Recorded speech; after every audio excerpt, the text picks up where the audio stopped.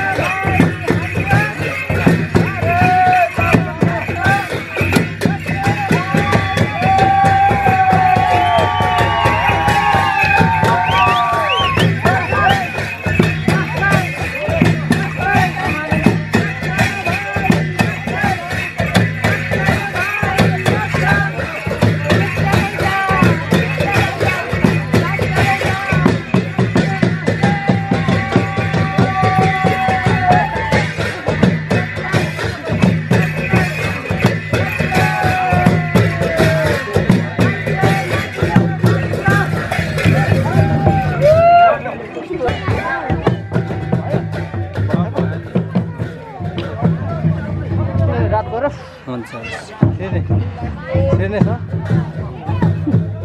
ठिक छ।